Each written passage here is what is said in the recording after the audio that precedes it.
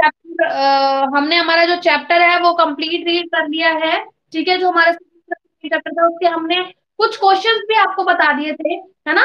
Exercise हमने cover कर ली थी बच्चे। तो बेटा, आज जो हमारा आज जो चलेगा वो है हमारा मतलब कि जो हमें क्वेश्चन आंसर्स करने थे है ना? तो अभी मैं आपको क्वेश्चन आंसर्स निकालती हूँ।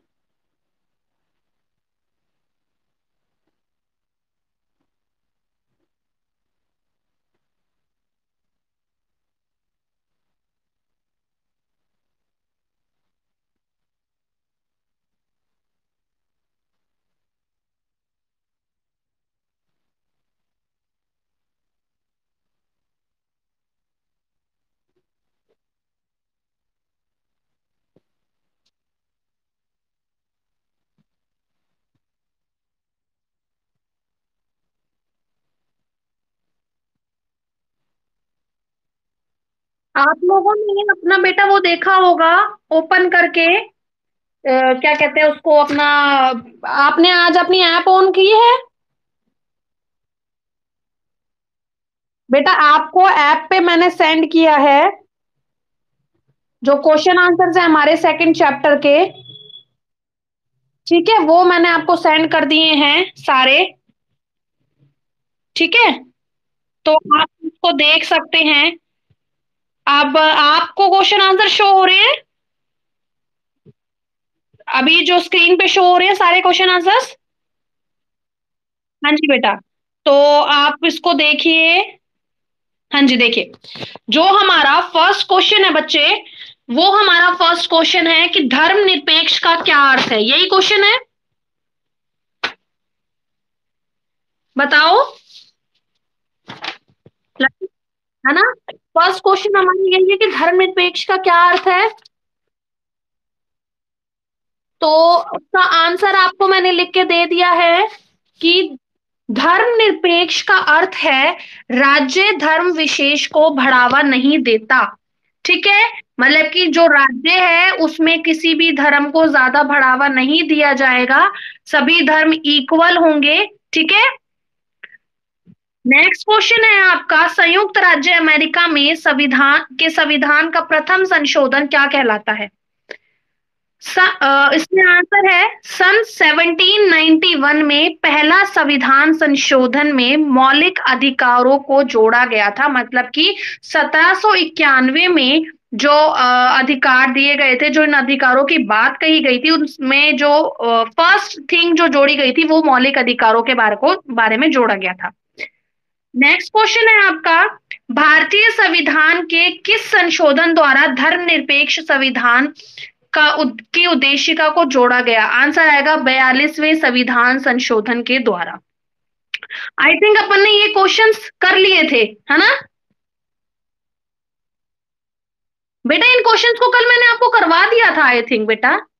समझा दिया था। लास्ट के दो क्वेश्चन थे वो रह गए थे हमारे।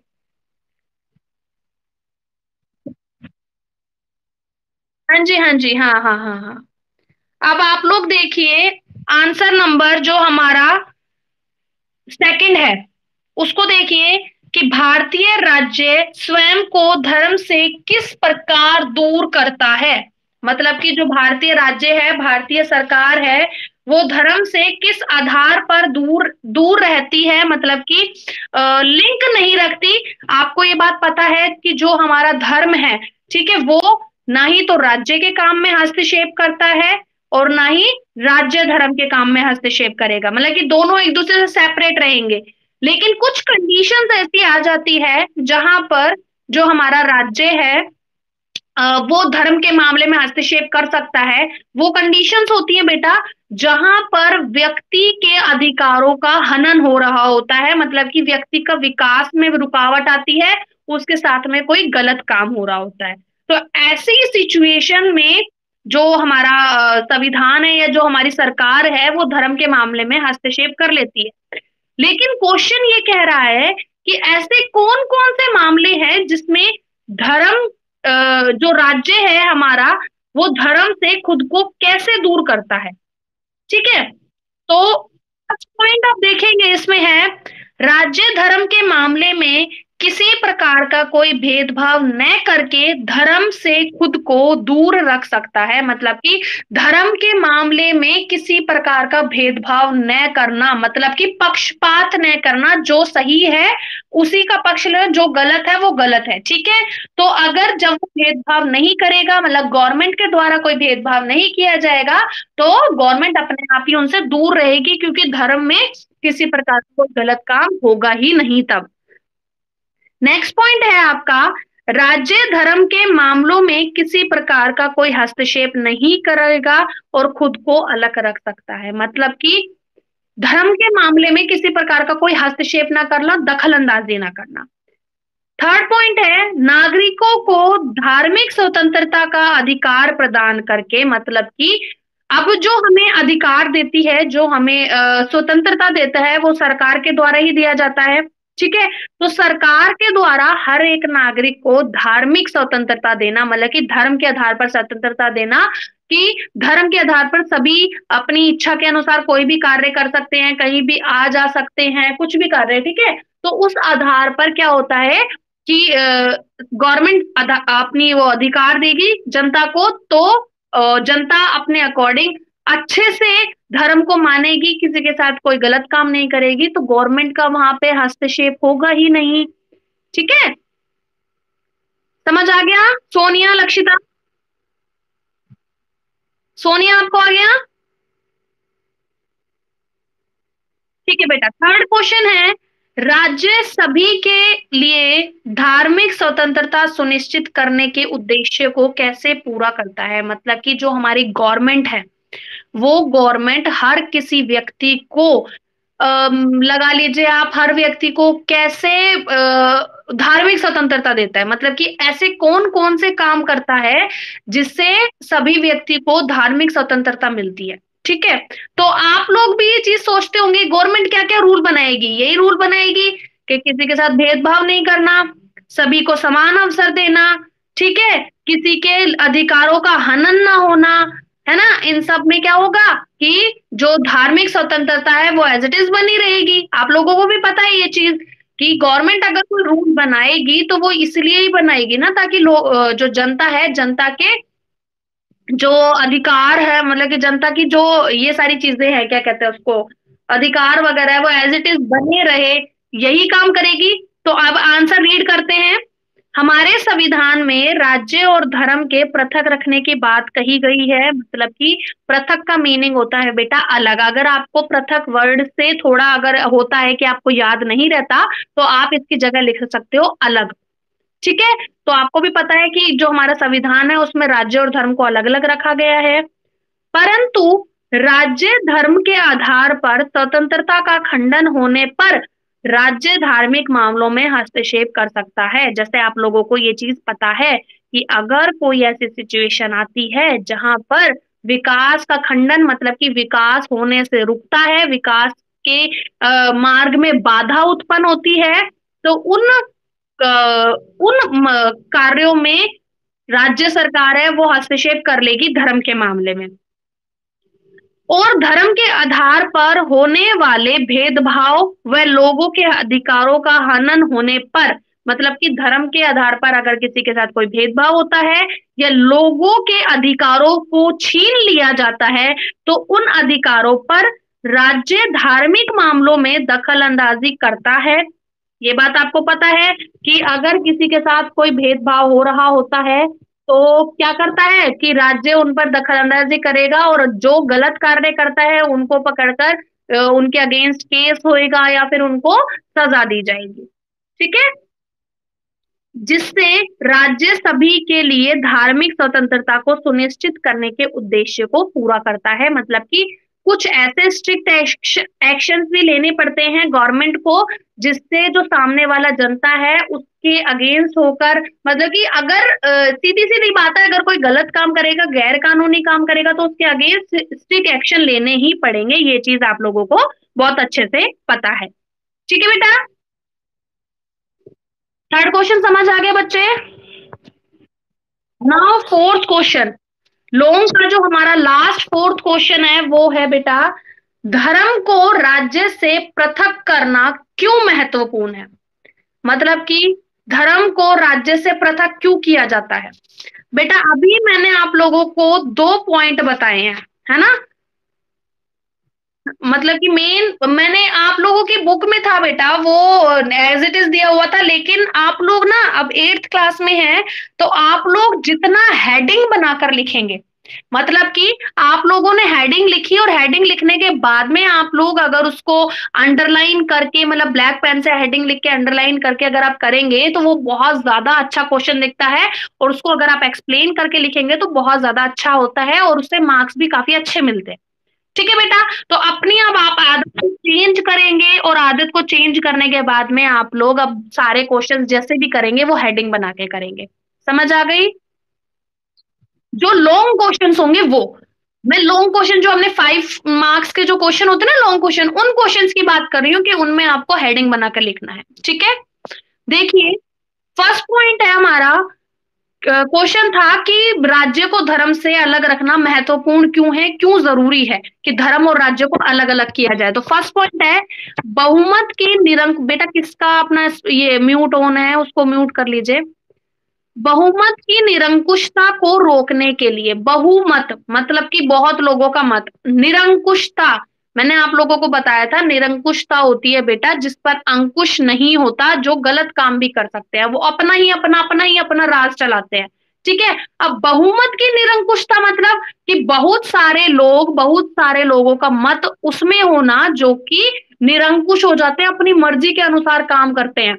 ठीक है, वो लोगों की भलाई के बारे में नहीं देखते, वो सिर्फ़ अपना अपना ही सोचते हैं। देखिए, यदि धर्म के लोग राज्य सत्ता में पहुँच जाते हैं तो उनका समूह दूसरे धर्मों के विरुद्ध भेदभाव करने और उन्हें परेशान करने के लिए सत्ता और राज्य की आर्थिक साधनों का प्रयोग कर सकता है। मतलब कि, अब एक बात बताइए, अब एक धर्म है जिसमें इतने ज़्यादा लोग हैं, उसकी मेजोरिटी बहुत ज़्यादा है। ठीक है? तो उसकी मेजोरिटी इतनी ज़्यादा होगी वो धीरे धीरे पॉलिटिक्स में पहुँच जाएगा और धीरे धीरे में पॉलिटिक्स में पहुँचते पहुँचते वो गवर्नमेंट में भी अपना हाथ जमा लेता है।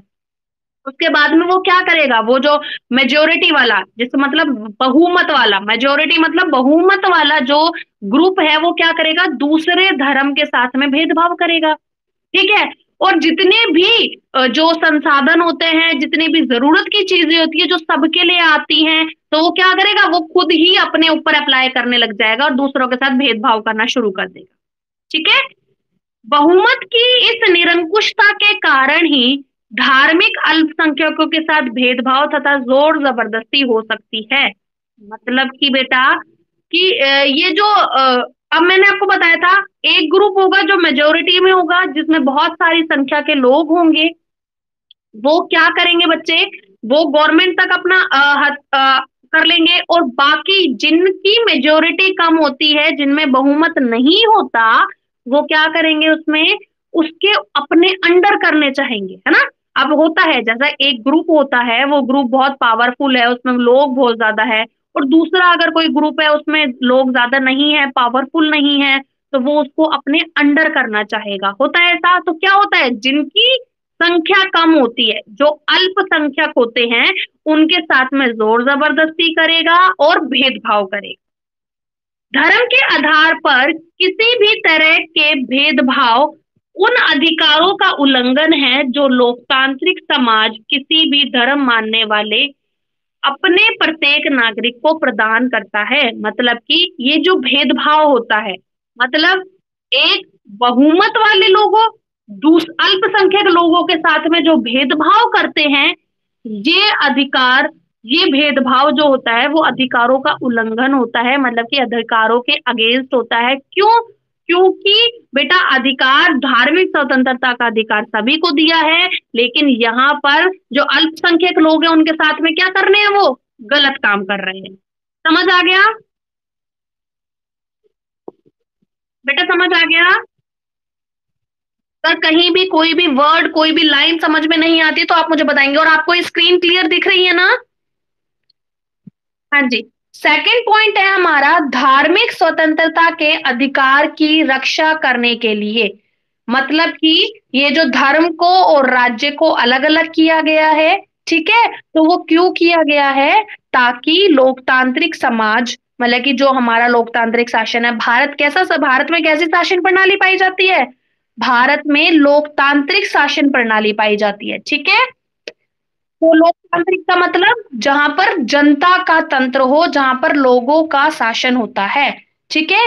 लोकतांत्रिक समाज में धर्म को राज्य से अलग रखने का एक महत्वपूर्ण कारण यह भी है कि लोगों के धार्मिक चुनाव के अधिकार की रक्षा हो। मतलब कि जो धर्म के, जो हमारे धार्मिक अधिकार दिए गए हैं, धार्मिक स्वतंत्रता का अधिकार, उसके आधार पर और धर्म के आधार पर, जैसे बेटा ऐसा नहीं होता, हर एक समाज, हर एक धर्म के लोग अपने अपनी वो बना लेते हैं, एक संगठन बना लेते हैं और उसमें चुनाव करवाते हैं। ये वो सारी चीज़ों की बात हो रही है, ठीक है? तो अब हम हैं। हम अपने अपने धर्म के आधार पर अगर चुनाव करवाते हैं, अपने धर्म के वो एक ग्रुप बनाते हैं कि हमारे धर्म का भी एक लीडर होना चाहिए, जो और एक ग्रुप होना चाहिए, एक कमेटी होनी चाहिए, उसकी बात कर रही हूँ मैं, ठीक है? चुनाव के अधिकार की रक्षा करनी है। इसका अभिप्राय यह है कि देश के किसी भी व्यक्ति को एक धर्म को छोड़कर दूसरे धर्म को अपनाने की पूर्ण स्वतंत्रता हो। मतलब कि हमारे देश में, बेटा, हर एक व्यक्ति को अधिकार है। क्या अधिकार है? कि आप कोई सा भी अपना धर्म कभी भी छोड़ सकते हो और कभी भी किसी भी धर्म को अपना सकते हो। ठीक है? मतलब कि आज आप अगर हिंदू हो और अगर आप मुस्लिम धर्म से ज़्यादा अट्रैक्ट हो जाते हो उसको अपनाना चाहते हो तो आप हिंदू धर्म को छोड़ के मुस्लिम धर्म अपना सकते हो। ये हमारे इंडिया में रूल है। ये स्वतंत्रता है। समझ आ गई आपको? ये एक तरह की, की स्वतंत्रता होती है ठीक है? यदि यह धर्म और राज्य एक दूसरे से प्रभावित हो प्रभावित है तो धार्मिक स्वतंत्रता के अधिकार का हनन होने से बचेगा। मतलब कि धर्म राज्य की सारे रूल्स को माने, राज्य धर्म के सारे रूल्स को माने। ठीक है? तो क्या होगा? आपस में नहीं लड़ेंगे, ना ही तो धर्म के आधार पर लोग लड़ेंगे, ना ही राज्य के उसमें, राज्य धर्म में हस्तक्षेप करेगा। तो क्या होगा? किसी भी प्रकार की कोई स्वतंत्रता का हनन होगा ही नहीं। समझ आ गई? बेटा, ठीक है। एक मिनट। हाँ जी now extra question are there extra question बेटा छोटे क्वेश्चन आपके बन रहे थे तो जितने क्वेश्चन आप लोगों के बने, उतने मैंने बना दिए हैं। ठीक है? क्या नहीं दिख रहा? अब भी नहीं दिख रहा? अब दिख गया ना? ठीक है। हाँ जी? वो बेटा फिर आपके नेट में प्रॉब्लम आ रही है। कोई नहीं, आपके पास पीडीएफ आएगी। आप अपनी ऐप ऑन करेंगे ना बेटा तो उसमें मैंने पीडीएफ सेंड करी है। ठीक है? आपकी आईडी आपकी आईडी में मैंने पीडीएफ सेंड कर दी है, वहाँ से आप लोग अपने क्वेश्चन आंसर्स कंप्लीट करेंगे। तो आपके एक्स्ट्रा क्वेश्चन का फ़र्स्ट क्वेश्चन है, भारत का राजधर्म कौन सा है? बेटा, याद रखिएगा, भारत का कोई राजधर्म नहीं होता। ठीक है? क्यों नहीं होता? क्योंकि भारतीय सरकार भारत में सभी धर्मों को समान रखा गया है। ठीक है? भारत में सभी धर्म क्या है? समान। इसलिए भारत का कोई राजधर्म नहीं होता। नेक्स्ट क्वेश्चन है, हस्तक्षेप का क्या अर्थ है? बेटा, आप लोकल लैंग्वेज में अगर समझोगे तो हस्तक्षेप का मतलब होता है दखल अंदाजी समझ आ गई? कि दखल अंदाजी करना। तो हस्तक्षेप को अगर आप लर्न करेंगे तो आप ऐसे लर्न करेंगे।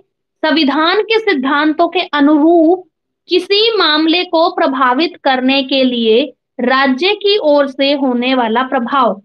मतलब कि संविधान के सिद्धांत के अनुरूप मतलब कि मान लीजिए जो रूल्स बनाए गए हैं, जो रूल्स रेगुलेशंस हैं, ठीक है, उनको और ज़्यादा अट्रैक्ट करने के लिए क्या करते हैं? कोई और उसको और चेंज करना चाहे। उसमें दखल अंदाजी करना, मोड़ तोड़ना उन सबको। तो वो क्या कहलाता है? हस्तक्षेप करना। नेक्स्ट क्वेश्चन है, भारतीय धर्मनिरपेक्ष क्या है? मतलब कि भारत में जो धर्मनिरपेक्ष है, वो क्या है, कैसा है? भारतीय संविधान में कहा गया है कि भारतीय राज्य धर्मनिरपेक्ष होगा। आप सभी को पता है कि जो हमारा भारतीय राज्य है, वो धर्मनिरपेक्ष राज्य है। धर्मनिरपेक्ष राज्य ही अपने उद्देश्य को साकार करते हुए निम्न बातों का प्रयोग, निम्न बातों का ध्यान रखता है। मतलब कि जो धर्मनिरपेक्ष राज्य है, बेटा, वो एज इट इज़ बना रहे। उसमें किसी प्रकार की कोई दिक्कत ना आए, धर्मनिरपेक्ष अच्छे से बना रहे, सभी को स्वतंत्रता मिलती रहे तो उसके लिए भारत क्या क्या करता है? भारत सरकार ने क्या क्या काम किए? फ़र्स्ट है कोई भी धार्मिक समुदाय किसी दूसरे धार्मिक समुदाय को न दबाए। ये चीज़ आपको पता है मैं आपको शुरू से बताती आ रही हूँ बेटा धर्मनिरपेक्ष का अर्थ यही है कि कोई भी धर्म सुपीरियर नहीं है मतलब कि कोई भी धर्म किसी से बड़ा नहीं है सभी समान है तो कोई भी किसी पर नियंत्रण नहीं रख सकता मतलब कि दबा नहीं सकता। नेक्स्ट कुछ लोग अपने ही धर्म के अन्य सदस्यों को ना दबाएँ। मतलब बेटा ऐसा होता है ना कि जैसे आ, अब एक धर्म है।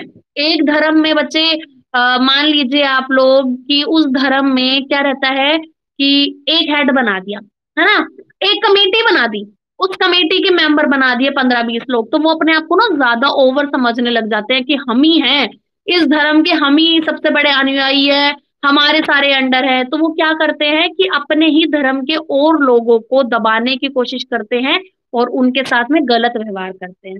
तो ये भी हमारे इंडिया में नहीं होना चाहिए, जो कि लिखा हुआ है, कुछ लोग अपने ही धर्म के सदस्यों को न दबाएँ। ठीक है? न दबाए मतलब उन पर नियंत्रण ना करे, जिससे धर्मनिरपेक्ष एज इट इज़ बना रहे।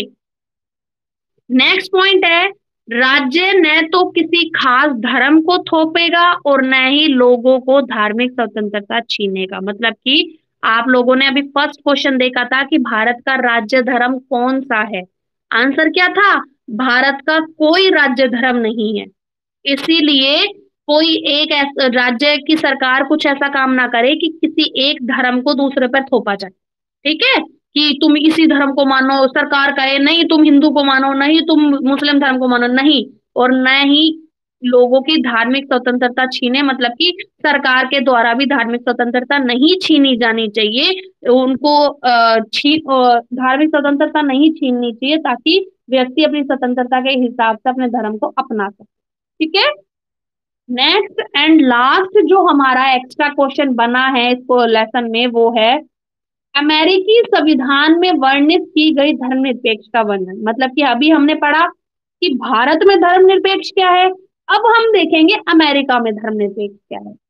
पहला पॉइंट है विधायिका किसी भी धर्म को राजकीय धर्म घोषित नहीं कर सकती। मतलब वही चीज़ आ रही है। हमारे, अभी अपन ने यहाँ पे क्वेश्चन में देखा था, देखिए। तो हम हर क्वेश्चन में क्या पढ़ते आ रहे थे? राज्य। हर क्वेश्चन में क्या पढ़ के आते? राज्य सरकार, कि राज्य धर्म से अलग रहेगा, है ना? तो वहाँ पर बेटा मेन बात आ रही है विधायिका वो भी कानून बनाने का कार्य ही करती है। जैसे अपने यहाँ पे गवर्नमेंट करती है ना इंडियन गवर्नमेंट जिसको हम बोलते हैं राज्य की सरकार, राज्य की सत्ता, है ना? तो गवर्नमेंट ही करती है बेटा। तो यही चीज़ आ गई कि विधायिका किसी भी धर्म को राज्य धर्म घोषित नहीं करेगी। मतलब सेम एज इट इज़ कि जैसे हमारे इंडिया का कोई राजकीय धर्म नहीं है, वैसे ही अमेरिका का कोई राजकीय धर्म नहीं है। नेक्स्ट सेकंड सेकंड पॉइंट है, विधायिका किसी भी धर्म को ज़्यादा प्राथमिकता नहीं दे सकती। वही चीज़, प्राथमिकता मतलब कि प्रायोरिटी के राज्य की नज़र से विधायिका की नज़र से या सरकार की नज़र से कोई भी धर्म ज़्यादा सुपीरियर नहीं है, किसी को ज़्यादा पावर नहीं दी गई, सारे इक्वल है।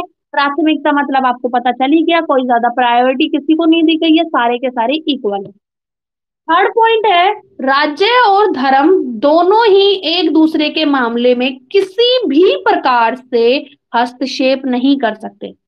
आप बेटा इंडिया में मैंने आपको बताया था कि जो इंडियन गवर्नमेंट है, वो कुछ ऐसे मामले होते हैं जिसमें राज्य की जिसमें धर्म में हस्तक्षेप कर लेती है।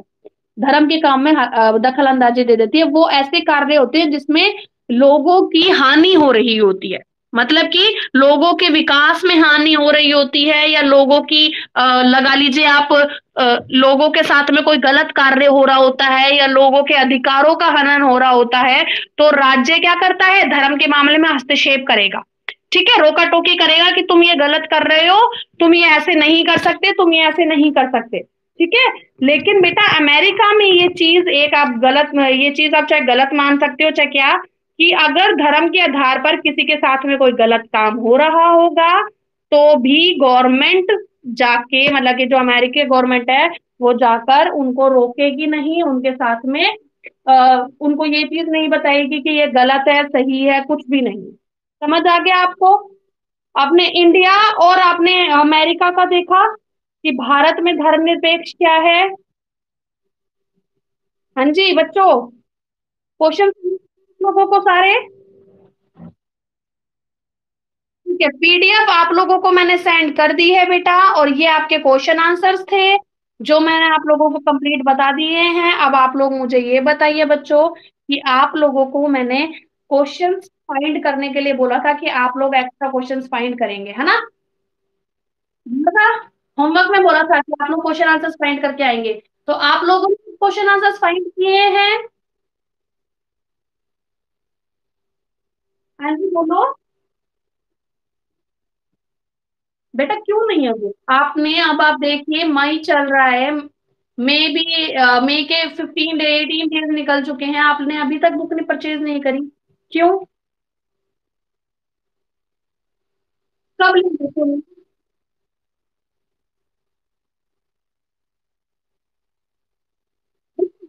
स्कूल में जी स्कूल से लीजिए स्कूल में जो स्टोर है ना वहाँ से बुक मिलेंगी आपको। ठीक। तो अब अ, हमारा जो चैप्टर हमारा सेकंड है वो हमारा कंप्लीट हो चुका है। ठीक है मैंने आप लोगों को क्वेश्चन आंसर भेज दिए हैं क्वेश्चन आंसर समझा दिए हैं चैप्टर रीड कर दिया है ठीक है धर्मनिरपेक्षता के बारे में। अब जो कल हम चैप्टर थर्ड रीड करेंगे बेटा वो है हमारा संसदीय सरकार क्यों और कैसे? जो हमारी इंडियन गवर्नमेंट है बेटा, उसका एक बेटा म्यूट कर लीजिए लक्षिता सोनिया। जो हमारी इंडियन गवर्नमेंट है बेटा, वो उसकी एक विशेषता है कि हमारी जो सरकार है, वो संसदीय सरकार है। संसदीय सरकार का मतलब संसद के दो अंग होते हैं। कौन कौन से? सॉरी दो सदन होते हैं। संसद के दो सदन होते हैं, लोकसभा और राज्यसभा। ठीक है? राज्यसभा होता है, वो अपर हाउस होता है लोअर हाउस होता है, वो लोकसभा होता है। ठीक है? तो हम इन दोनों के बारे में पढ़ेंगे। समझ आ गई? लोकसभा और राज्यसभा के बारे में पढ़ेंगे संसद के बारे में पढ़ेंगे चुनाव के बारे में पढ़ेंगे कि हर पाँच साल बाद चुनाव होते हैं कैसे क्या चुनाव होते हैं लोकसभा में कैबिनेट मिनिस्टर्स होते हैं उनको क्या पावर्स वगैरह होती है उनकी क्या शक्ति होती है या नियुक्ति कैसे होती है या फिर अगर अ, किसी अ, सदस्य को चुनना होता है चुनाव में अगर वो खड़ा होना चाहता है तो उसको क्या क्या योग्यता रखनी चाहिए हम उन सब चीज़ों के बारे में पढ़ेंगे। है ना? उसके बाद में बेटा सरकार के तीन अंग, हमने फ़र्स्ट क्वेश्चन में पढ़ा था, सरकार के तीन अंग होते हैं विधायिका, कार्यपालिका और न्यायपालिका। वो हम आने वाले चैप्टर्स में पढ़ेंगे, जो आपके आगे आने वाले चैप्टर्स में, उसमें एक एक चैप्टर बनाया हुआ है, कार्यपालिका, विधायिका और न्यायपालिका के बारे में। हम वो बाद में पढ़ेंगे, लेकिन जो अभी हमारा कल का चैप्टर रहेगा, वो थर्ड चैप्टर रहेगा, संसदीय सरकार कैसे और क्यों? ठीक है बेटा? हाँ जी, सोनिया और लक्षिता, आपको समझ आ गए सारे क्वेश्चंस हमारा कल का जो मैंने आपको बताया, आप लोग आज इवनिंग तक अदरवाइज़ कल मॉर्निंग तक आप लोग मुझे अपना होमवर्क सेंड करेंगे, जो आज का क्वेश्चन आज की जो लेसन है चैप्टर नंबर सेकंड उसका आप फिर नोटबुक में नोट डाउन करके आप मुझे सेंड करेंगे, ठीक है? समझ आ गया?